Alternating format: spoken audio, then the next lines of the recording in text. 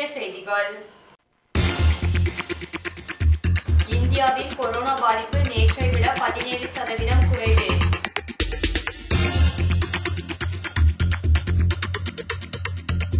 பீகார் சட்டமன்ற தேர்தலில் முன்னிலையை தொடர்ந்து பாரதிய ஜனதா தொண்டர்கள் கொண்டாட்டம்.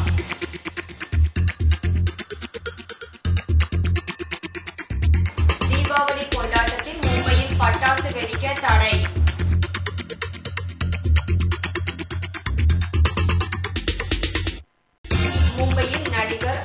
ගම්පල්ලීදී පෝදේ පුරුත් සෝදනයේ විසාරණයේදී ආදරාව සම්මන්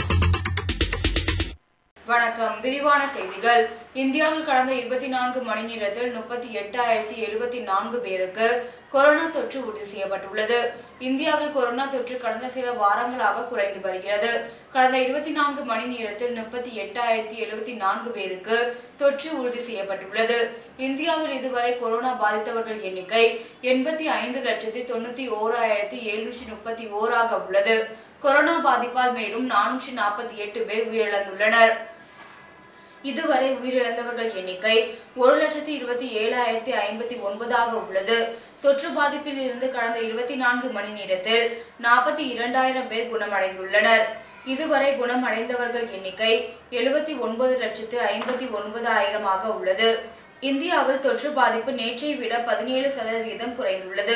மக்களுக்கு சற்று ஆறுதலை கொடுத்துள்ளது. பீகாரில் தேசிய ஜனநாயக கூட்டணி தவிர ராஷ்டிரிய லோக் சமதா கட்சி தலைமையில் மற்றொரு அணியும் தேசிய ஜனநாயக கூட்டணியில் இருந்து பிரிந்த ராம்விலாஸ் பஸ்வானின் லோக் ஜனசக்தி கட்சி தனியாகவும் போட்டியிட்டன இந்த தேர்தலில் பதிவான ஓட்டுகள் அனைத்தும் எண்ணும் பணி காலை எட்டு மணிக்கு தொடங்கியது. வாக்குப்பதிவு தொடர்ந்து நடைபெற்று வரும் நிலையில் பாஜக அங்கம் வகிக்கும் தேசிய ஜனநாயக கூட்டணி நூற்றி இருபத்தி ஐந்து இடங்களில் முன்னிலை வகித்தது. பாஜக மற்றும் தனித்து எழுபத்தி மூன்று இடங்களில் முன்னிலையில் உள்ளது. கூட்டணி கட்சியான ஐக்கிய ஜனதா தளம் நாற்பத்தி ஆறு தொகுதிகளில் முன்னிலை வகிக்கிறது. மெகா கூட்டணி நூற்றி ஆறு இடங்களில் முன்னிலை வகிக்கிறது. ராஷ்டிரிய ஜனதா தளம் அறுபத்தி ஏழு இடங்களிலும் காங்கிரஸ் இருபத்தி நான்கு இடங்களிலும் முன்னிலையில் உள்ளது.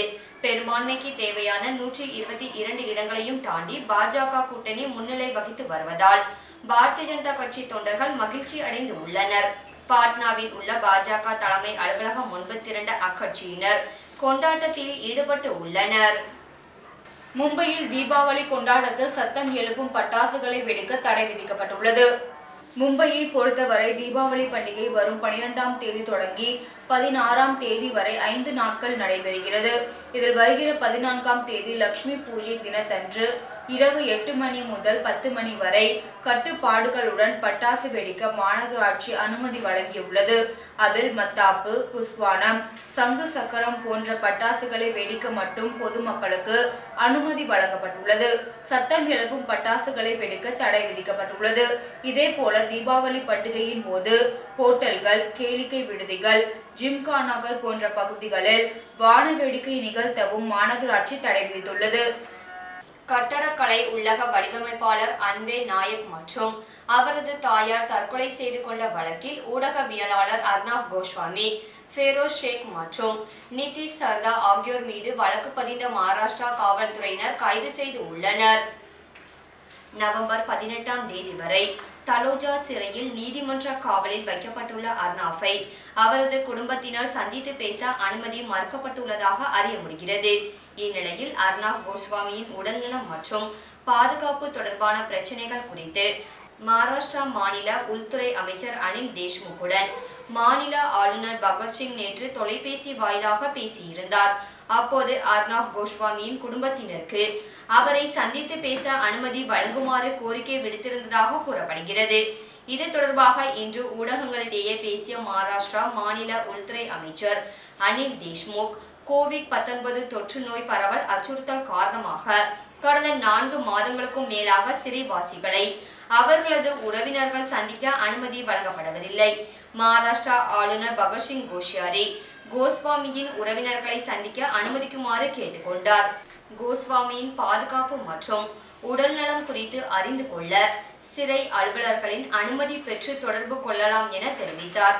மகாராஷ்டிரா ஆளுநர் பகத்சிங் கோஷியாரி பாதிக்கப்பட்டவர்கள் மற்றும் அவர்களது குடும்பத்தினர் பக்கம் துணை நிற்காமல். குற்றம் சாட்டப்பட்ட அர்னாப் கோஸ்வாமிக்கு துணை நிற்பதாக சிவசேனா தேசியவாத காங்கிரஸ் மற்றும் காங்கிரஸ் தலைவர்கள் விமர்சனம் செய்து வருவது கவனிக்கத்தக்கது. பிரபல நடிகர் சுஷாந்த் சிங் தற்கொலையை அடுத்து ஹிந்தி திரையுலகம் போதைப் பொருள் குற்றச்சாட்டில் சிக்கியது. இந்த விவகாரம் குறித்து போதைப் பொருள் தடுப்பு பிரிவினர் விசாரணை நடத்தி வருகின்றனர். இதில் அவர்கள் ஏற்கனவே சுஷாந்த் சிங்கின் காதலியும் நடிகையுமான ரியா சக்கரவர்த்தி அவரது தம்பி ஷோவிக் உள்ளிட்டோரை கைது செய்தனர். நடிகை ரியா சக்கரவர்த்தி தற்போது ஜாமீனில் உள்ளார்.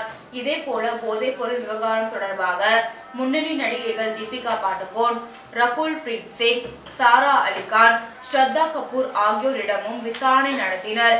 இதற்கிடையே கடந்த சில நாட்களுக்கு முன் திரையுலகை சேர்ந்தவர்களுக்கு போதைப் பொருள் விற்பனை செய்யும் கும்பல் பிடிபட்டது. அவர்களிடமிருந்து கஞ்சா எம்டி சரஸ் உள்ளிட்ட போதைப் பொருட்கள் பறிமுதல் செய்யப்பட்டன. மேலும் அவர்கள் கொடுத்த தகவலின் பேரில் போதைப் பொருள் தடுப்பு பிரிவு அதிகாரிகள் நேற்று முன்தினம் மும்பை ஜூஹுவில் உள்ள பிரபல ஹிந்தி பட தயாரிப்பாளர் ஃபிரோஸ் நாடியட்வாலா வீட்டில் சோதனை நடத்தி பத்து கிராம் கஞ்சாவை பறிமுதல் செய்தனர்.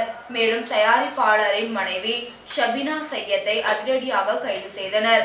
இந்த நிலையில் நிலையில் நேற்று அவர்கள் மும்பை பாந்த்ராவில் உள்ள பிரபல நடிகர் அர்ஜுன் ராம்பாலின் வீட்டில் திடீர் சோதனை நடத்தினர். அப்போது அவரது வீட்டிலிருந்து சில எலக்ட்ரானிக் சாதனங்களை அதிகாரிகள் பறிமுதல் செய்தனர். மேலும் நடிகரின் ஓட்டுநரிடம் பல மணி நேரம் விசாரணை நடத்தினர். பின்னர் நாளை போதைப் பொருள் தடுப்பு பிரிவினர் விசாரணைக்கு ஆஜராகுமாறு நடிகர் அர்ஜுன் ராம்பாலுக்கு சமன் கொடுத்தனர். போதைப் பொருள் விவகாரத்தில் பிரபல தயாரிப்பாளரின் மனைவி கைது செய்யப்பட்ட நிலையில் நடிகரின் வீட்டில் அதிகாரிகள் சோதனை நடத்தியது. இந்தி திரையுலகில் பரபரப்பை ஏற்படுத்தியுள்ளது. மகாராஷ்டிரா அரசு அனைத்து முனைகளிலும் தோல்வி அடைந்து விட்டதாக மாநில பாரதிய ஜனதா தலைவர் சந்திரகாந்த் பாட்டீல் குற்றம் சாட்டியுள்ளார். பாரதிய ஜனதா கட்சியின் மாநில தலைவர் சந்திரகாந்த் பாட்டீல் நேற்று அளித்த பேட்டியில் ஆளும் சிவசேனா தலைமையிலான மகா விகாஸ் அகாடி அரசை கடுமையாக விமர்சித்தார். அப்போது அவர் கூறிய போது மகாராஷ்டிரா மாநில சாலை போக்குவரத்து கழகம் கடந்த சில மாதங்களாக சம்பள தொகையை வழங்காததால் இரண்டு ஊழியர்கள் தற்கொலை செய்து கொண்டனர். அது மட்டுமின்றி ஊரடங்கு உத்தரவு காரணமாக வாழ்வாதாரத்தை இழந்த இருபத்தி எட்டு முடித்திருத்தும் தொழிலாளர்கள் தங்கள் இன்னுயிரை மாய்த்து கொண்டனர். கொங்கன் பகுதியை தாக்கிய சிசர்கா புயல் மற்றும் கனமழை காரணமாக விதர்பா மற்றும் மரத்வாடா பகுதிகளில் விவசாயிகள் தங்கள் விளைபயிர்களை இழந்து உள்ளனர். இதனால் கடும் நஷ்டத்திற்கு ஆளாகி உள்ள அவர்களுக்கு முதலமைச்சர் உத்தவ் தாக்கரே தலைமையிலான அரசு நிவாரணம் வழங்க தவறிவிட்டது. இப்படி அரசு அனைத்து முனைகளிலும் தொடர்ந்து தோல்வியடைந்து உள்ளது. பாதிக்கப்பட்டவர்களின் துயரத்தை துடைக்க ஆளும் அரசு உடனடியாக நடவடிக்கை எடுக்க வேண்டும். இல்லையெனில் நிலைமையை சீராக்க பாரதிய ஜனதாவினர் வீதியில் இறங்கி போராடுவதை தவிர வேறு வழியில்லை என்று அவர் கூறினார். கர்நாடக மாநிலத்தின் தலைநகரான பெங்களூருவில் உள்ள பாபுஜி நகரில் ஒரு வேதியியல் தொழிற்சாலை அமைந்துள்ளது. இங்கு இன்று எதிர்பாராத விதமாக தீ விபத்து ஏற்பட்டது. இதனைத் தொடர்ந்து சில நிமிடங்களில் தொழிற்சாலை முழுவதும் தீ பரவியது. இதனால் வெகு உயரத்திற்கு வானத்தில் அடர்த்தியான புகை இருந்தது. இந்த ரசாயன தொழிற்சாலை அடர்த்தியான மக்கள் தொகை கொண்ட பகுதியில் அமைந்துள்ளது. தீ விபத்து ஏற்பட்ட பகுதிக்கு மிக அருகில் குடியிருப்பு பகுதிகள் உள்ளன. அங்குள்ள அனைவரையும் வெளியேற்றும் பணியில் காவல்துறையினர் ஈடுபட்டு வருகின்றனர். சம்பவ இடத்திற்கு எட்டு தீயணைப்பு வாகனங்கள் வரவழைக்கப்பட்டு தீயை அணைக்கும் பணிகள் மேற்கொள்ளப்பட்டு வருகின்றன. தொழிற்சாலைகள் தீ விபத்து ஏற்பட்ட போது சிலிண்டர் வெடித்த சத்தம் கேட்டு அங்கிருந்த தொழிலாளர்கள் உடனடியாக தொழிற்சாலைக்கு வெளியே ஓடி வந்தனர். இந்த விபத்தால் உயிரிழப்புகள் எதுவும் ஏற்படவில்லை என்று தெரிவிக்கப்பட்டுள்ளது. இதற்கிடையில் தீ விபத்தில் பல வாகனங்கள் சேதமடைந்துள்ளன. மேலும் தீயணைப்பு வீரர்கள் தீயை அணைக்கும் பணிகளில் தீவிரமாக ஈடுபட்டு வருகின்றனர்.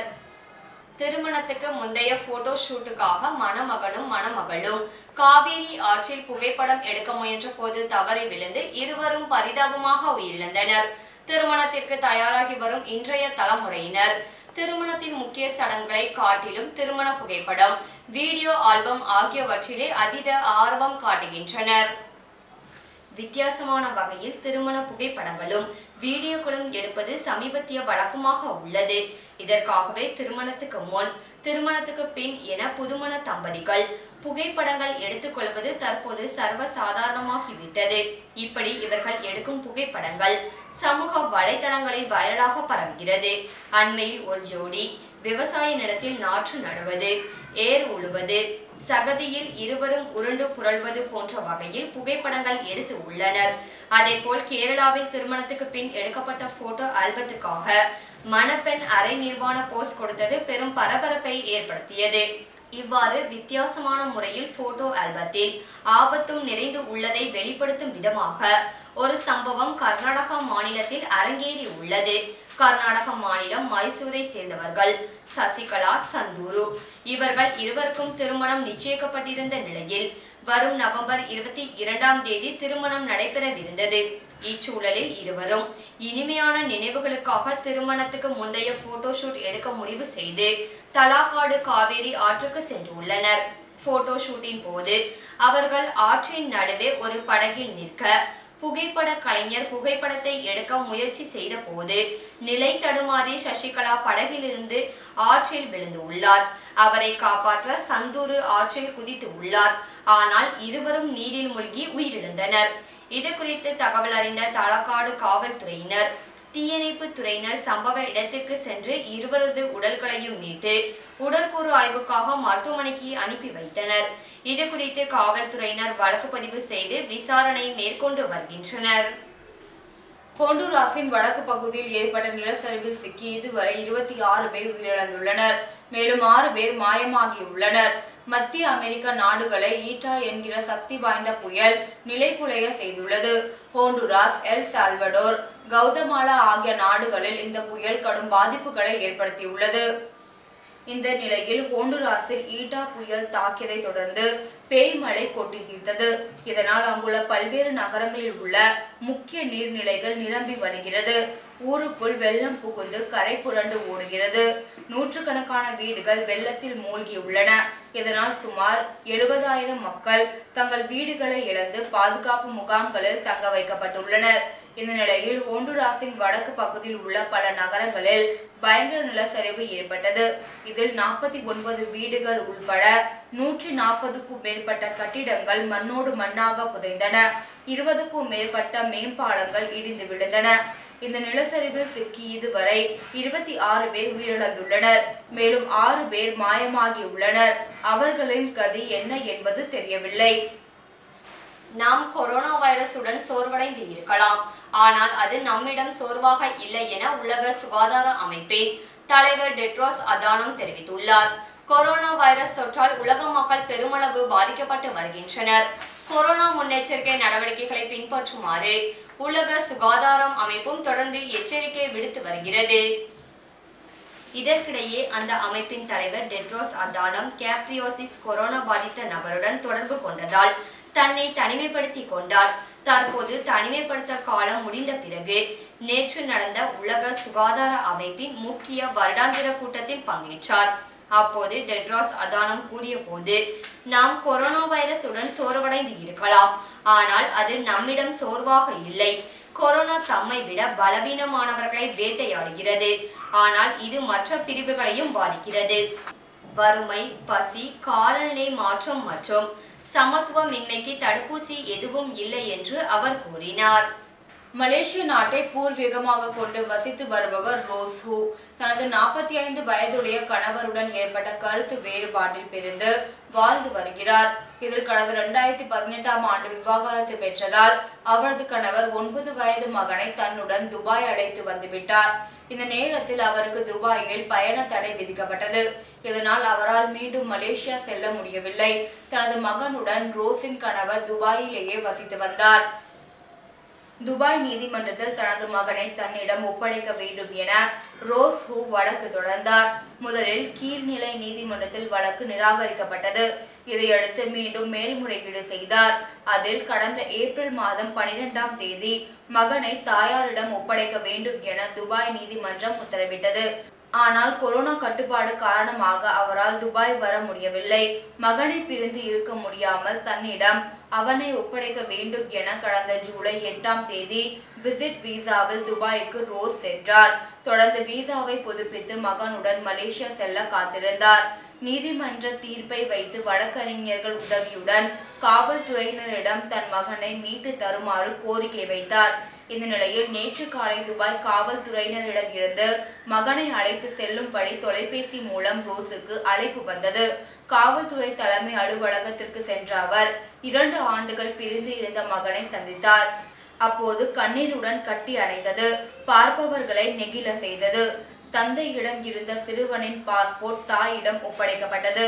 கண்ணீர் மல்க மகனை அழைத்து சென்ற ரோஸ் காவல்துறை அதிகாரிகளுக்கு நன்றி தெரிவித்தார். ஒழுங்குபடுத்தப்படாத நிறுவன சலுகைகளை நம்பி ஏமாற வேண்டாம் என இந்திய ரிசர்வ் வங்கி அறிவுறுத்தி உள்ளது இது குறித்து இந்திய ரிசர்வ் வங்கி தரப்பில் கூறிய போது எந்த ஒரு திட்டத்திலும் பணத்தை செலுத்தும் முன் திட்டத்தை முழுமையாக சரிபார்க்க வேண்டும். விரைவான மற்றும் அதிக வருவாயை உறுதியளிக்கும் வகையில் ஒழுங்குபடுத்தப்படாத நிறுவன சலுகைகளை நம்ப வேண்டாம். அதை நம்பி பணம் செலுத்தினால் மோசடி நடைபெற வாய்ப்பு இருக்கிறது.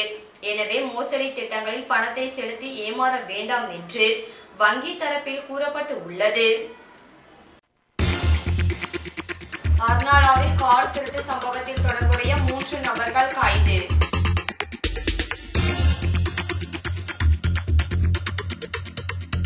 கல்யாணில் உள்ள ஹோட்டல் ஒன்றில் உணவு பார்சல்களை இரண்டு இளைஞர்கள் திருடும் காட்சி வைரலாகி பரபரப்பு.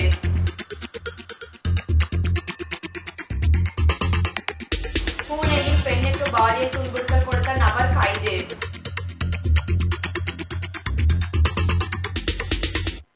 சத்தாராவின் நாடாளுமன்ற உறுப்பினர் மாளிகையில் வெள்ளி துப்பாக்கியை திருடிய நபர் கைது.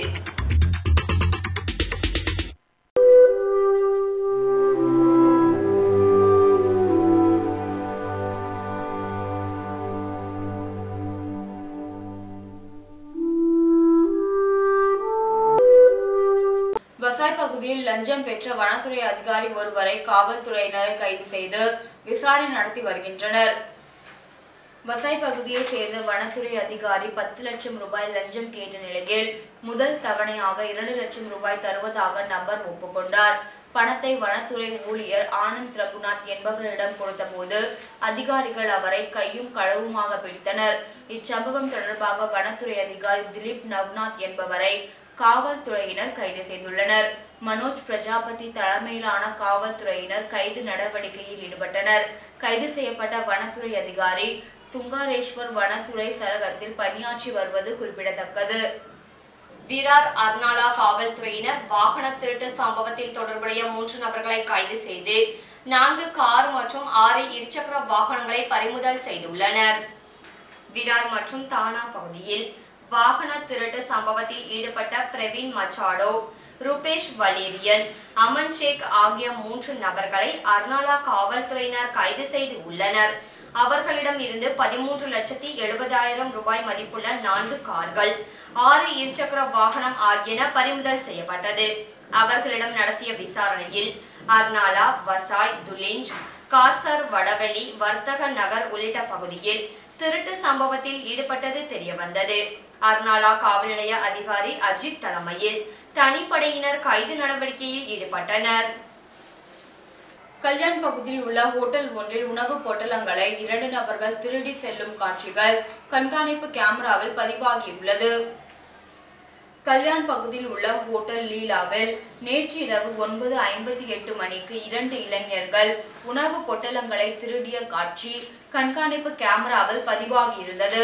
கல்யாண் மேற்கு அத்தார்வாடி சதுக்கம் பகுதியில் கல்யாண் ஸ்போர்ட்ஸ் கிளப் எதிர்ப்புறம் இயங்கி வரும் ஹோட்டல் லீலா எப்போதும் பரபரப்புடன் காணப்படும்.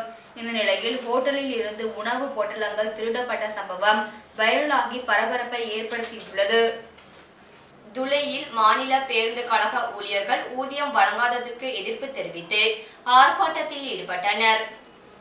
துளை பகுதியில் மாநில போக்குவரத்து கழக ஊழியர்களுக்கு கடந்த மூன்று மாதம் ஊதியம் வழங்கப்படாத நிலையில் ஊழியர்கள் குடும்ப உறுப்பினர்களுடன் ஆர்ப்பாட்டத்தில் ஈடுபட்டனர். இந்நிலையில் இதுகுறித்து பேசிய ஊழியர் ஒருவர் ஜல்வாக் பகுதியை சேர்ந்த மனோஜ் என்பவர் தற்கொலை செய்து கொண்டதை நினைவு கூர்ந்தார். தீபாவளி பண்டிகை நெருங்கி வரும் நிலையில் ஊழியர்கள் இக்கட்டான நிலையில் உள்ளனர். ஆகஸ்ட் செப்டம்பர் அக்டோபர் மாத ஊதியம் வழங்கப்படாத நிலையில் போக்குவரத்து கழக ஊழியர் சங்கத்தினர் ஆர்ப்பாட்டம் நடத்த அழைப்பு விடுத்தனர். கோரிக்கை நிறைவேறாத நிலையில் போராட்டம் விரிவுபடுத்தப்படும் என்று அவர்கள் எச்சரிக்கை விடுத்துள்ளனர். அமராவதியில் மாநில பேருந்து கழக ஊழியர்களுக்கு ஊதியம் வழங்காததால் ஊழியர்கள் குடும்பத்தினருடன் ஆர்ப்பாட்டத்தில் ஈடுபட்டனர். அமராவதியில் மாநில போக்குவரத்து கழக ஊழியர்களுக்கு மூன்று மாத ஊதியம் வழங்கப்படாத நிலையில் அவர்கள் சந்தூர் ரயில் நிலையம் அருகில் குடும்பத்துடன் ஆர்ப்பாட்டத்தில் ஈடுபட்டனர். தங்கள் கோரிக்கையுடன் கூடிய கருப்பு நிற பேனரை ஏந்திய நிலையில் ஆர்ப்பாட்டத்தில் ஈடுபட்டனர். இது தொடர்பாக கோரிக்கை மனுக்கர் மாவட்ட ஆட்சியர் மற்றும் அரசியல் பிரமுகர்களுக்கும் தொழிற்சங்கம் மூலம் அனுப்பி வைக்கப்பட்டுள்ளது. இந்த நிலையில் தீபாவளி பண்டிகை நெருங்கி வரும் நிலையில் ஊழியர்கள் மிகுந்த எதிர்பார்ப்பில் உள்ளனர். புல்தானாவில் ஏழை மக்களுக்கு திவ்யா ஃபவுண்டேஷன் சார்பில் கம்பளி விரிப்புகள் இலவசமாக வழங்கப்பட்டது. புல்தானா பகுதியில் குளிர் நிலவி வரும் நிலையில் அங்குள்ள முப்பது ஏழை மக்களுக்கு திவ்யா ஃபவுண்டேஷன் சார்பில் கம்பளி விரிப்புகள் இலவசமாக வழங்கப்பட்டது. வீடு இன்றி சாலை பகுதியில் வசித்து வரும் ஏழை மக்களுக்கு ஃபவுண்டேஷன் நிர்வாகிகள் விரிப்புகள் மற்றும் கம்பளி உடைகள் வழங்கியுள்ளனர். நகர் பகுதியில் பதினைந்து டிகிரிக்கும் கீழ் வெப்பநிலை உள்ள நிலையில் குளிர் நிலவி வருகிறது. இந்நிலையில் பாதிக்கப்பட்ட ஏழை மக்களுக்கு திவ்யா ஃபவுண்டேஷன் சார்பில் உதவிகள் வழங்கப்பட்டது. பூனேயில் பெண் ஒருவருக்கு பாலியல் துன்புறுத்தல் கொடுத்த நபரை காவல்துறையினர் கைது செய்து வழக்கு பதிவு செய்துள்ளனர். பூனே மாவட்டம் சிரூர் தாலுகாவிற்குட்பட்ட நவாரா பகுதியில் பெண் ஒருவருக்கு பாலியல் துன்புறுத்தல் கொடுத்த நபர் தாக்குதலும் நடத்தியுள்ளார். இது குறித்து காவல்துறையினருக்கு கிடைத்த தகவலை தொடர்ந்து குண்டலிக் பகாடே என்ற நபரை சிரூர் காவல்துறையினர் கைது செய்தனர். காவல்துறை ஆய்வாளர் அபினவ் தேஷ்முக் வழக்கு பதிவு செய்து விசாரணை நடத்தி வருகிறார். தாக்குதலில் காயமடைந்த பெண் மருத்துவமனையில் அனுமதிக்கப்பட்டு சிகிச்சை பெற்று வருகிறார். சத்தாராவில் நாடாளுமன்ற உறுப்பினர் உதயன் ராஜையின் ஜல் மந்திர் பங்களாவில் வெள்ளி துப்பாக்கியை திருடிய நபரை கைது செய்த காவல்துறையினர். அவர் மீது வழக்கு பதிவு செய்துள்ளனர். சத்தாரா நாடாளுமன்ற உறுப்பினர் உதயன் ராஜையின் ஜல் மந்திர் பங்களாவில் இருந்து வெள்ளி துப்பாக்கி ஒன்று திருடு போன சம்பவம் குறித்து வழக்கு பதிவு செய்த காவல்துறையினர் தீவிர விசாரணை நடத்தி வருகின்றனர். மூன்று கிலோ எடையுள்ள துப்பாக்கியின் மதிப்பு ஒரு லட்சத்தி நான்காயிரம் ரூபாய் ஆகும் இந்நிலையில் சந்தேகத்திற்கு இடமளிக்கும் வகையில் சுற்றி திரிந்த நபரை காவல்துறையினர் பிடித்து விசாரணை மேற்கொண்டதில் துப்பாக்கியை விற்பனை செய்ய வந்தது தெரிய வந்தது அவரை கைது செய்த சாகுபுரி காவல்துறையினர் வழக்கு பதிவு செய்து நீதிமன்றத்தில் ஆஜர்படுத்தினர். நாக்பூரில் தடை உத்தரவை மீறி செயல்படும் கடை வியாபாரிகள் மீது கடுமையான நடவடிக்கை எடுக்கப்படும் என்று மாநகராட்சி ஆணையர் உத்தரவிட்டுள்ளார். நாக்பூர் சந்தை பகுதியில் மக்கள் கூட்டம் அதிகமாக உள்ள நிலையில் தடை உத்தரவை மீறும் கடை உரிமையாளர்கள் மீது கடும் நடவடிக்கை எடுக்கப்படும் என்று மாநகராட்சி ஆணையர் ராதாகிருஷ்ணன் எச்சரிக்கை விடுத்துள்ளார். ஆணையர் உத்தரவிட்டதை தொடர்ந்து மாநகராட்சி ஊழியர்கள் சந்தை பகுதியில் கண்காணிப்பு பணியில் ஈடுபட்டுள்ளனர். விதியை மீறும் கடை உரிமையாளர்களிடம் அபராதம் வசூலிக்கப்பட்டு வருகிறது. நகரின் சந்தை பகுதியில் அதிக மக்கள் கூட்டம் உள்ள நிலையில் அனைத்து மக்களும் அரசு விதித்த விதிகளை பின்பற்ற வேண்டும் என்று மாநகராட்சி ஆணையர் கோரிக்கை விடுத்துள்ளார்.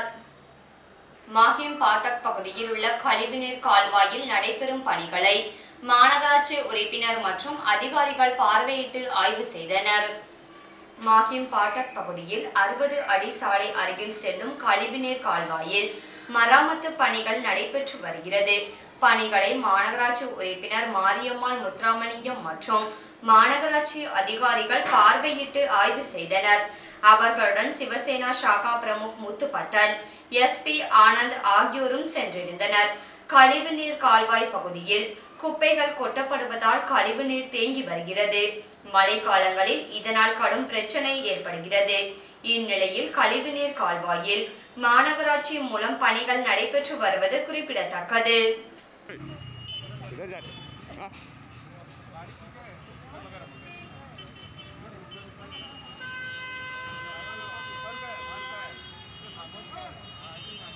நெல்லையில் கொரோனா ஊரடங்கால் மூடப்பட்ட மாவட்ட அறிவியல் மையம் மற்றும் அரசு அருங்காட்சியகம் எட்டு மாத கால இடைவேளைக்கு பின் இன்று திறக்கப்பட்டது.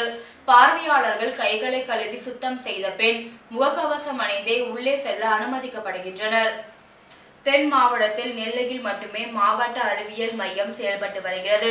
இங்கு அறிவியல் கண்டுபிடிப்புகள் அறிவியல் விஞ்ஞானம் சார்ந்த பொருட்கள் கணினி ஆய்வக கூடம் முப்பரிமாண காட்சி அரங்கு டைனோசர் பூங்கா ஆகியவை காட்சிக்காக வைக்கப்பட்டுள்ளது.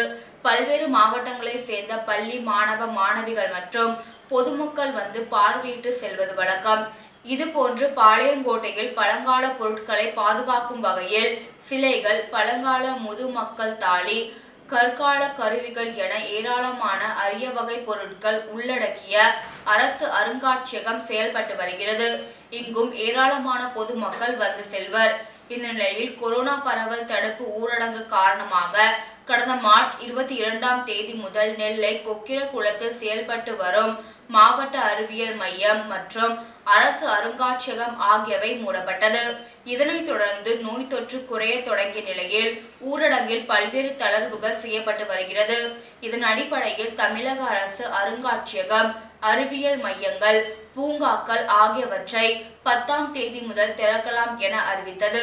இந்த அறிவிப்பை தொடர்ந்து நெல்லையில் கடந்த எட்டு மாதமாக மூடப்பட்டு இருந்த மாவட்ட அறிவியல் மையம் மற்றும் அரசு அருங்காட்சியகம் இன்று முதல் திறக்கப்பட்டது. அருங்காட்சியகம் மற்றும் அறிவியல் மையத்திற்கு வருபவர்கள் கைகளை கழுவி உடல் வெப்ப பரிசோதனை செய்த பின்னர் முகக்கவசம் அணிந்தே உள்ள செல்ல அனுமதிக்கப்படுகின்றனர்.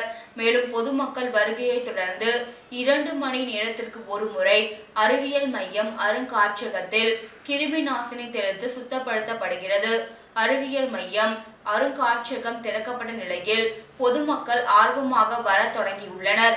இந்த அருங்காட்சியகம் திறந்துள்ள நிலையில் மாணவ மாணவிகள் மகிழ்ச்சியை வெளிப்படுத்தியுள்ளனர். மீண்டும் இன்றைய முக்கிய செய்திகள். இந்தியாவில் கொரோனா பாதிப்பு நேற்றை விட பதினேழு சதவீதம் குறைவு.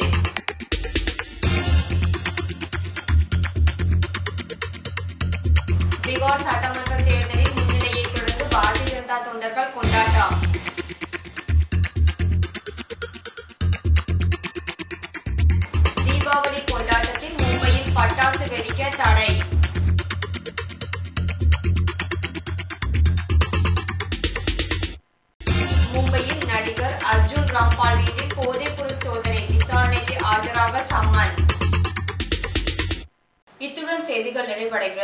வணக்கம்.